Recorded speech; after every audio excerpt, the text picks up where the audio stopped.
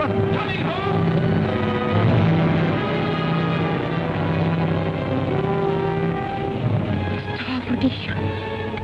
It's gone. My son employed you.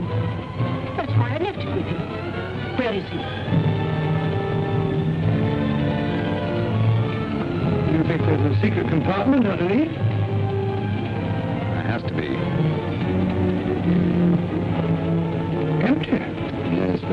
Recently occupied. What was the name of the man who approached you? I don't remember. Miss Vera, was it by any chance this man here? I never seen this gentleman before in my life.